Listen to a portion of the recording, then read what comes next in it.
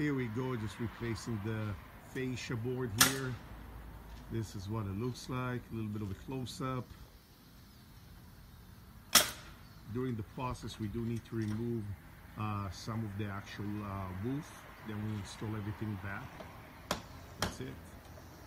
Here we go, just another quick completion video of the fascia board replacement. Everything has been changed, primed, and painted. That's it. This is what it looks like. A little bit of a close-up.